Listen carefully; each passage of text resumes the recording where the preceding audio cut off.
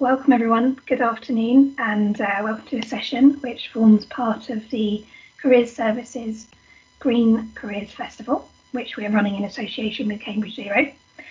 I'm delighted to be joined this afternoon by Gavin Haughton. Gavin is a scientific officer based within the Office of the Chief Scientific Advisor at DEFRA, and he's going to be talking to us about his career path to date, including, of course, his current role within science engagement in the government. So we hope that there will be time for questions at the end of Gavin's presentation. So do please pop them in the chat as we go along. But otherwise, over to you, Gavin, and thanks. Thanks, Sally. Um, so I'm going to talk to you about my career path, but I'm going to weave into that some examples of some of the good choices I made of trying to reach out. So I'll be dropping a couple of names of places you can go to to find similar sort of opportunities to get good experience that will help boost your CV. So uh, we'll start with uh, my studying geology as an MSci student. And with that geology, I then, at the end of the MSci, uh, I managed to get a project where I was working with GIS to map the seafloor. And this really introduced me to GIS, which is where most of my career came from after that. And after that MSci finished, I managed to get in contact with the British Exploring Society, and that's a group which can they take A level students really off to exotic locations like the Himalayas and the Amazon and such. But if you join as a trainee leader, which you can do after you finish, say, your degree, so I joined that as a trainee leader, and that way you get a massive discount on going, so you can go to these exotic places without spending lots of money. So I went as a trainee leader to teach geology for that. So that was a six week trip to the Himalayas, and you get lots of experience in sort of leading these groups. Um, you've got first aid as well, but also teaching geology. That's just a sort of six week thing you can do after you finish university that will help bolster your CV. Also, while I was doing my undergraduate, I got some work at the British Geological Survey over the summer. So using those summer holidays to really try and get internships or some work experience, even if it's just a week or two. And I got that line by reaching out to they knew anyone who worked in these areas. After that, um, I managed to get a PhD. So my PhD was in marine geology. So I used those GIS skills that I got from my MSci to do a PhD in this. And that was a four-year PhD researching sort of mid-ocean ridge crusts, trying to find the relationship between faulting and tectonism there. One of the good opportunities to look out for is when you're doing a PhD is any of the conferences you can go to. So there's lots of conferences, and these are all sort of things you need to take the initiative to apply and produce posters and presentations. And again, if you you get to do a lot of traveling with a PhD, if you're doing it to go to a conference because it's funded through your research. So using that, I got to go to uh, the American Geophysical Union, Geoscience Union in the US. Also went to an Interridge conference in China. There's the European Geoscience Union, was in Vienna, the Primes conference in Scotland. And there's some other opportunities where it was a sort of mining field trip training that, that was taught by Rio Tinto and other groups teach you how to do geology in the field for mining. And that was in Milos uh, in Greece. So those are examples that you can do the PhD, but then there's these extra opportunities you can work towards as well once you're in that.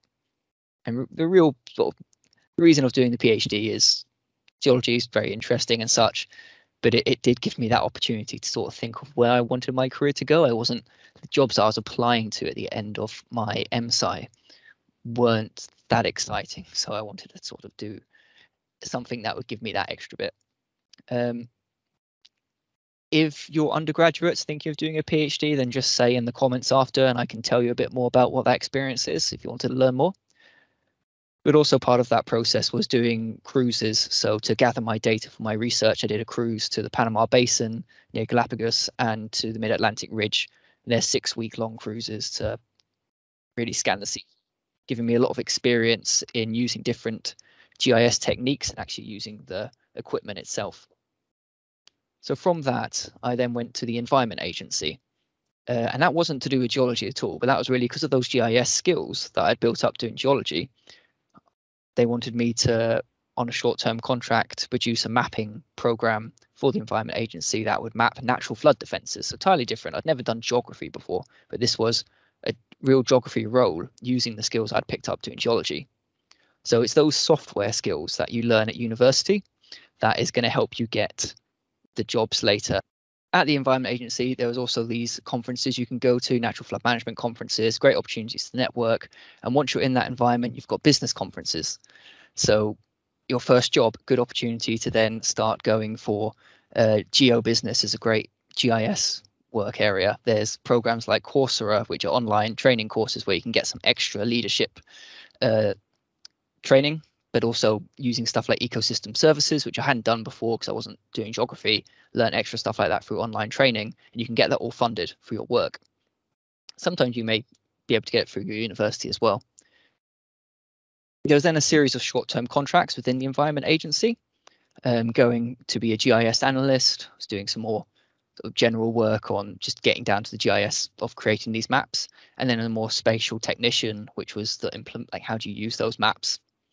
And then I swapped over to DEFRA last year for science engagement uh, within the Chief Scientific Advisor's Office. So this is a Chief Scientific Advisor who's from, he's an Oxford professor that helps to advise DEFRA on its policy, and we cr uh, create these expert groups of other academics from all different universities to come and check DEFRA policy to make sure it's scientifically rigorous before we go and implement it. So I help to run these various committees to get them together, uh, write up their minutes and the reports. But there's also gathering stats on these groups, trying to compare them to each other and engaging with universities to set up events and also sort of uh, help set up our own PhD pro uh, programs within DEFRA.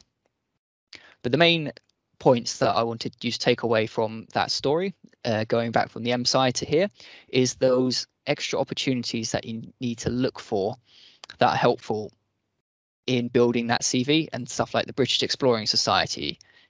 Kind of get a nice holiday with it, but you also get to gain those leadership abilities and those other skills that you can put in your CV. The conferences, the business conferences like Oceanology and GeoBusiness, specifically for GIS, they're not careers fairs, but they're where the companies come together to swap ideas and change. Students are allowed to go to those as well. So going to those business conferences, and you can find them online if usually just typing in your subject or such with a business conference after.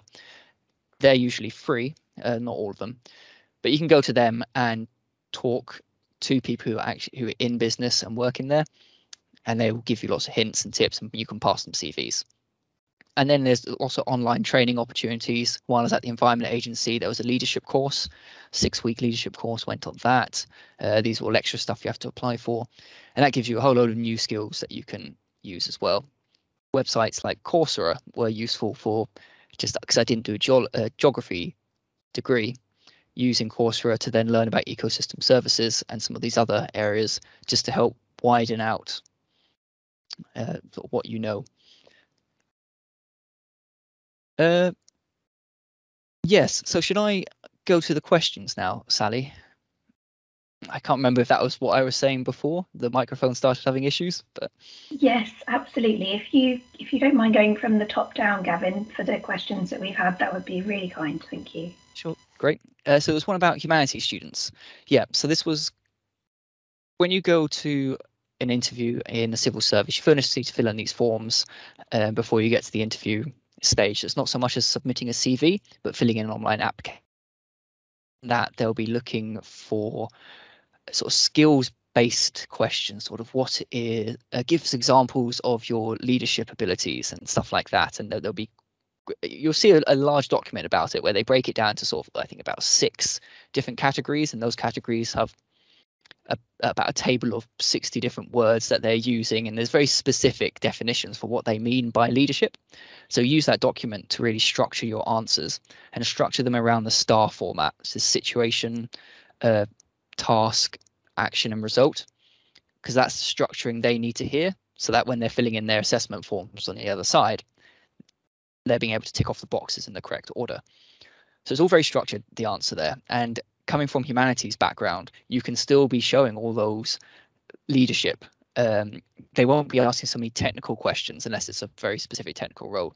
But certainly, any sort of team working experience you have, any uh, leadership examples, or self learning. Uh, you, you go, you do courses that are extra to what you needed to do, and so learning. That's going to sort of fill in those criteria. So yeah, it's it's it's not that you'll be so much interviewed based on what your subject was, but on the skills that you acquired while doing that, and that's why that extra ability, extra curricular stuff is important. Just looking through the other questions. Yeah. Yes, we've had something from Julia there, uh, which I was unaware of, but um, obviously observing us from the point of view of something that they're working on. Um, I believe we have another question coming in from Lauren. Um, yeah, so just if we give the next couple of minutes over to some quick typing from folks, that would be lovely. And yeah. um, feel free to also just unmute and yeah, no, shout at me, so that's fine. Very good, thank you, Gavin. I don't really want people to shout, but yeah, that's great.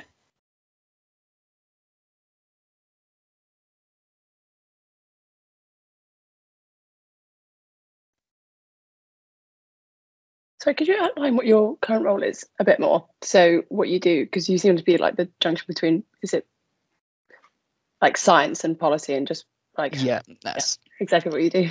Yeah, I, so I do a lot, so it's quite hard. To, it's it's not in my old GIS roles. It's very specific on. I was just doing mapping. In this role, the the chief scientific advisor's office really works on. It is that junction between science and policy you've got all the policy coming down and you've got teams working on that, but we want to make sure that it's properly vetted by external scientists.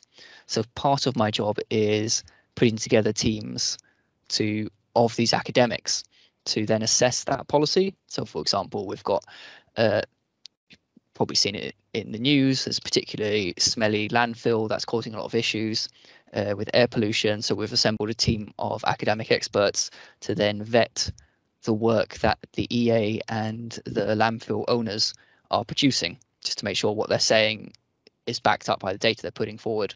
So we've got that independent criticism, and we've got another one of those for exotic diseases as well, like swine flu and bird flu and such. Um, so those are some of the groups I organise. There's also communicating with all the universities in the UK to try and find out what doctoral partnerships they're part of um, we want to set up our own PhD program in DEFRA, so it's sort of laying the groundwork for that. There's an assessment of all of the scientific advisory, uh, those scientific expert groups across DEFRA. You know, there's dozens of them. Um, there's so many we're not even quite sure like what is out there. So we're having to, well, I'm assessing that, pulling in all the data from those groups, the pay, who's involved with it, everything like that, what their purposes are to try correlate between the different roles to make sure that DEFRA's got scientists in the right places to be covering all of the sort of upcoming topics and you know we don't have any research gaps. It's very broad and it's always changing. So um, it, when you're in the civil service, you rarely stay to one role for long. There's always it's always moving, and there's always new opportunities to get new can have quite a lot of freedom in choosing where you want to go work wise. Uh, people will email around and say, I've got this new bit of work. Does anyone want to take part in it? So you have that opportunity to sort of put yourself forward. Thanks. Can I? Thank you. yeah. Yes, please. Thanks, Gavin, for that. Um, I just wondered. Um, so my question was the one about sort of humanities student coming in. Oh, yeah. um, and you mentioned just now that your work sort of is obviously the science aspect, but there's also the policy work, which I was wondering whether the policy side of things is something you sort of picked up on your way into DEFRA, um, or if that's something you've kind of learned while you've been at DEFRA. Um, so that was one thing. And then secondly, kind of leading on from that, if we're sort of interested in policy, can you recommend any sort of, you mentioned Coursera, anywhere else that we could sort of kind of build our knowledge and skills in that yeah. area? Yeah. Thanks. So I didn't know much or care particularly much about policy before uh, I did because I came very much from the science perspective, it's all about data. But while at the Environment Agency, it sort of came more and more important that the policy side is you've got that top-down approach Um, so learning about the policy really defines what science you're going to be set on to do. So that involved me more in trying to get more involved with the policy. So you get in there at an earlier stage. Um, and there's loads of once I started looking into that, so you see the IPCC reports and uh, sort of the 25 year environment plan. There's another one.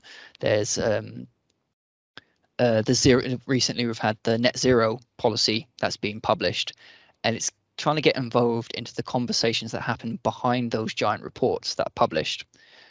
Um, and a lot of those discussions are with experts and academics that then discuss that. So that that was an interesting way in. Um, and what was your other point? Sorry. So thanks. That's very helpful, Gavin. Um, just about sort of how any recommendations you have or mm. advice on oh, how we can pick up sort of a better understanding of policy and some skills in that area. The blogs go on the civil service website and uh, .gov website, and you can subscribe on the side to uh, articles, and you can then filter it by department. So whether you just want DEFRA articles or BEIS articles, and in those you'll have the the small blogs that will come through there'll be lots of links usually on the articles that are posted that will send you to the right reports but importantly those blogs have the contact information for whoever wrote it and they'll be specific to a team that you may be interested in. So you can then follow up that contact with can i speak to you more about this uh, to learn more about the work you've done? And they usually reply they're quite good responding. That's brilliant. Thanks. Yep. Stephanie, I think you also had a question just about the finding the document of the civil service application that Gavin spoke about. Yeah, it's the civil service success profiles. Um, so if you Google that, you'll be able to find the documents that'll go for it, and it'll be anytime you apply for a civil service job. Um, there'll be links during the application process. There'll be links to it to that document. So if you can't find it by googling that, just to try applying for one of the jobs, and it will send you to those links. So they're quite forward about exactly how they want you to answer the questions, but it is a very different process to if you're applying to jobs in business. Um, okay, that's really helpful. Thank you very much for everyone for your questions. Um, if you have any more, unmute now, but otherwise, um, Gavin, I think we can draw the session to a close just to pass on the thanks from the Career Service and from Cambridge Zero for joining us and speaking so clearly about what your career path to date. Stephanie, you have your hand up. Yes, sorry, I wanted to jump in really quickly. No um, problem. Um, uh, Gavin, just on the um, civil service blogs, would I find that if I just go onto the civil service website, is it really straightforward to find? Yeah, yeah, I'm, I'm just going to Google it quickly. Uh, Thanks. Because it should be